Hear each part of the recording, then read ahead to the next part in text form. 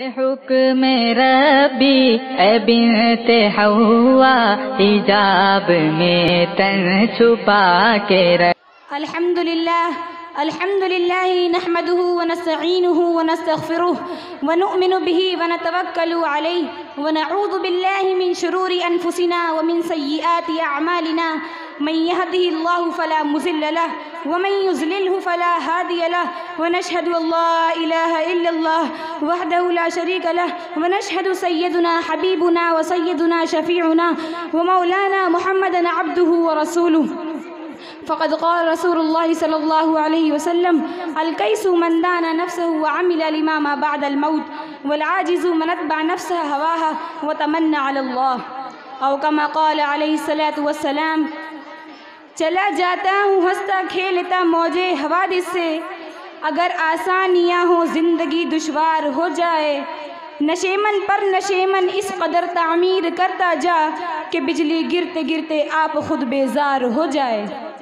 मदद सामीन इकराम, मैं आपके सामने अपनी तकरीर का आगाज़ करने जा रही हूँ तो आप गौर से समाज फरमाएँ। क्योंकि कभी कभी कान में पड़ी हुई बात काम आ ही जाती है, चाहे वो मुख्तसर सी ही क्यों ना हो। ख़ास तौर पर वो बात जिसका ताल्लुक़ कुरान करीम या हज़रत मोहम्मद मुस्तफ़ा सल्लल्लाहु अलैहि वसल्लम की हदीस मुबारक से हो तो उस बात के नफ़ा बख्श होने में कोई शुबा नहीं है। हमारे नबी पाक सल्लल्लाहु अलैहि वसल्लम की बातें आँखों पर सजाने और सिर पर रखने के काबिल हैं। दुनिया वाले इस बात का यकीन करें या ना करें, लेकिन एक मोमिन इंसान इस बात का सौ फ़ीसद यकीन रखता है कि आप सल्लल्लाहु अलैहि वसल्लम ने जो बात बयान फरमाई वो हक़ है। इसी मुनासिबत से मैंने आपके सामने जो ऊपर हदीस मुबारक बयान फरमाई, उसमें आप सल्लल्लाहु अलैहि वसल्लम ने अक्लमंद और बेवकूफ़ की तारीफ़ बयान फरमा दी कि अक्लमंद कौन है और बेवकूफ़ कौन है। आज के ज़माने में हर इंसान ये चाहता है कि उसका नाम अक्लमंदों में आए, लोग उसको अक्लमंद कहें। कोई ये नहीं चाहता कि लोग कहें कि इसका दिमाग तो आउट हो गया है, ये तो बिल्कुल बेवकूफ़ है, कोई इस बात को नहीं चाहता। बल्कि हर इंसान चाहता है कि लोग उसको अक्लमंद कहें। लेकिन दुनिया वालों की नज़रों में अक्लमंदी का मैार ये है कि मसलन अक्लमंद आदमी वो है जो बहुत होशियार हो। अक्लमंद आदमी वो है जो बहुत कमाने वाला हो। अक्लमंद आदमी वो है जो दूसरों पर अपनी फोकियत को साबित कर सके। अक्लमंद आदमी वो है जो दूसरों पर कंट्रोल कर सके, कोई उस पर कंट्रोल ना कर सके। और जब वो गुफ्तु करे तो दूसरों पर गालिब आ जाए और कोई दूसरा इंसान उस पर गालिब ना आ सके। लेकिन इसके मुकाबिल में बेवकूफ़ इंसान वो है जो बिल्कुल बातचीत ना करे, खामोश रहता हो। अगर कोई उससे ज़ोर से बात करे तो वो खामोश हो जाए। और सारा ज़िंदगी गुजारता हो, कमाने की सलाहियत ना रखता हो तो ऐसे इंसान को लोग कहते हैं, ये तो बिल्कुल बेवकूफ़ है, इसके अंदर तो बिल्कुल अकल नहीं है। तो ये दुनिया वालों की नज़रों में अक्लमंदी और बेवकूफ़ी का मैार है। लेकिन हमारे अका मौला सरवर कायनात फ़ख्र मौजूदात हज़रत मोहम्मद मुस्तफ़ा सल्लल्लाहु अलैहि वसल्लम ने अक्लमंदी और बे, अक्लमंदी की क्या खूब तारीफ़ बयान फरमाई है। कि अलकई सुमंदान नफ्स वामिन अलीमामा बादल मौत।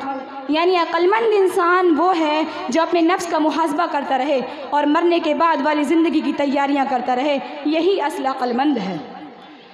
तो हम मरने के बाद की ज़िंदगी की तैयारी हमने कितनी कर रखी है? आप खुद अपना जायज़ा ले सकते हैं। हमारी दुनिया की ज़िंदगी कितने दिन की है? हमारी दुनिया की ज़िंदगी फ़ानी है। पहले की उम्मतों में कई सौ साल की उम्रें हुआ करती थी। हमारे हज़रत सैदना नूह वसलाम ने साढ़े नौ सौ साल तबलीग की। लेकिन हमारे नबी पाक सल्लल्लाहु अलैहि वसल्लम ने अपनी उम्मत के बारे में फरमाया, अमर उम्मती माबैन सित्तीन सबीन वाक़ल्लाजुजालिका यानी मेरी उम्मत की उम्रें सिर्फ़ साठ साल से सत्तर साल के दरमियान होंगी। सत्तर साल से ऊपर बहुत कम लोग जा सकेंगे। सत्तर साल से पहले ही मेरी उम्मत के लोग वफात पा जाएँगे। तो आप लोग गौर करें कि ये हमारे दुनिया की ज़िंदगी का क्या हाल है? पंद्रह साल तो इंसान के बालिग होने में चले जाते हैं। पच्चीस साल इंसान के बाशूर होने में चले जाते हैं। फिर इंसान कमाता है सीखता है, सिखाता है, पढ़ाता है, फिर उसके तीस साल यूँ ही गुजर जाते हैं। अब बचे कितने साल? ज़्यादा से ज़्यादा चालीस साल। तो इन चालीस सालों में इंसान बूढ़ा होता है और किसी को कोई तकलीफ़ लग जाती है, कोई किसी आज़ार में मुबतला हो जाता है, ज़िंदगी से लुत्फ़ भी नहीं उठा पाता। हमारी ज़िंदगी का महासिल ये निकला कि हमारे पास सिर्फ़ चालीस साल फ़ायदा उठाने के लिए हैं और ये भी किसी इंसान के लिए ज़रूरी नहीं कि वो चालीस साल ज़िंदा रहे या ना रहे। तो मेरे भाइयों और बहनों, हमें चाहिए कि हम अपने मौत की बाद की ज़िंदगी की तैयारियाँ करें, जो ज़िंदगी हमारी करोड़ों अरबों सालों में भी ख़त्म नहीं होगी, वो ज़िंदगी लामहदूद ज़िंदगी है, जिसका सौ दो सौ साल का सवाल नहीं, बल्कि करोड़ों अरबों सालों में भी वो ज़िंदगी ख़त्म नहीं होगी। इसके बाद आप ज़िंदगी का भरोसा नहीं है, बंद हो जाए कब दिल की धड़कन, दो घड़ी का भरोसा नहीं है। दो दिल तेरा तोड़ देगी ये दुनिया, राह में छोड़ देगी ये दुनिया बेवफाई है फितरत में इसकी, दोस्ती का भरोसा नहीं है। ख्वाब कैसे सजाए हुए हैं, रेत पर घर बनाए हुए हैं, सौ बरस तक की तैयारियाँ हैं और अभी का भरोसा नहीं है।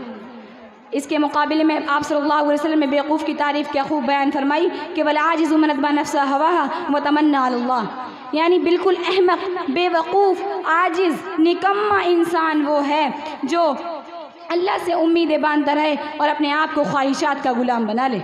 जो जी में आए करे, जो जी में आए ना करे, अल्लाह ने क्या कहा? कुछ परवाह नहीं। कुरान हमसे क्या कह रहा है? कुछ परवाह नहीं। आप सल्लल्लाहु अलैहि वसल्लम ने हमसे क्या क्या वादे किए? कुछ परवाह नहीं।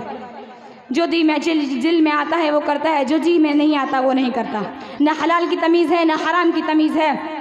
और सबसे बड़ी हिमाकत तो उस इंसान की ये है कि इन सब चीज़ों के बावजूद ये अल्लाह से ये उम्मीदें लगाए बैठा है कि जब मैं मरूँगा तो मेरी तो जन्नत पक्की है। तो आप लोग खुद अपना जायज़ा लें कि आपने क्या अपनी जन्नत की ज़मीन को ख़रीद के रख रखा है कि जब आप चाहेंगे, जैसे चाहेंगे, जन्नत में दाखिल हो जाएँगे? नहीं। ऐसा नहीं होगा।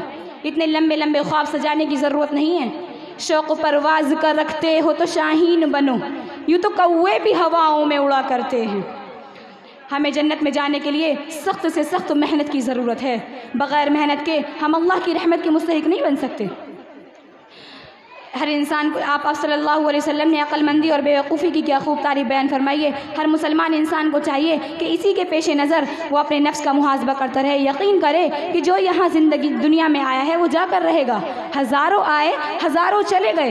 हमारी रोज़ हमारी आँखों के सामने ही मंजर आता है। लोगों को कब्रिस्तान तक ले जाया जाता है और एक दिन ऐसा आएगा कि हमें भी कब्रिस्तान तक ले जाया जाएगा। हम खाली हाथ आए थे और खाली हाथ जाएँगे। सिर्फ़ हमारे साथ, हमारे नेक अमाल जाएँगे। तो मेरे भाइयों, आप खुद अपना जायज़ा लें कि आपने कितने नेक अमाल कर रखे हैं? नेक अमाल से अपने आप को भरपूर करके रखें और अल्लाह से दुआ करें कि अल्लाह हम सबको दीन पर इस्तकामत रखने की तोफ़ी अता फ़रमाए और जहाँ जो यहाँ लोग हाजिर हैं, जो गैर हाजिर हैं, सबको अल्लाह दीन पर इस्तकामत रखने की तोफ़ी अता फ़रमाए और हर तरह के गुनाहों से, फसाद से और बलाओं से हमारी हिफाजत फरमाए और हमें मरने के बाद की ज़िंदगी की तैयारी करने की तोफ़ी अता फ़रमाए। हर इंसान को चाहिए कि वो अपने नफ्स का मुहासबा करे। आप लोग सोने से पहले पाँच मिनट निकालें और अपने नफ्स का मुहासबा करें कि आज सुबह से लेकर रात तक मैंने कितने नेक अमाल किए। अगर नेक अमाल किए हैं तो उस पर अल्लाह का शुक्रिया अदा करें। और फिर सोचें कि मैंने सुबह से लेकर रात तक कितने गुनाह किए। और अगर गुनाह किए हैं तो उस पर अल्लाह से रो रो कर तौबा करें। और अल्लाह आपको माफ़ कर देगा, अल्लाह को तौबा तौबा करने वाला बंदा बहुत पसंदीदा है। इसीलिए अल्लाह से आखिर में दुआ है कि अल्लाह तबारक व ताली हमें कहने, सुनने से ज़्यादा अमल करने की तोफ़ी अता फरमाए। है यहाँ से तुझको जाना एक दिन, कब्र में होगा ठिकाना एक दिन। मुँह खुदा को है दिखाना एक दिन, अब न गफलत में गवाना एक दिन। वाखिर दावाना, अल्हम्दुलिल्लाह रबालमीन हम्दुलिल्लाहि वरहमल आलमीन।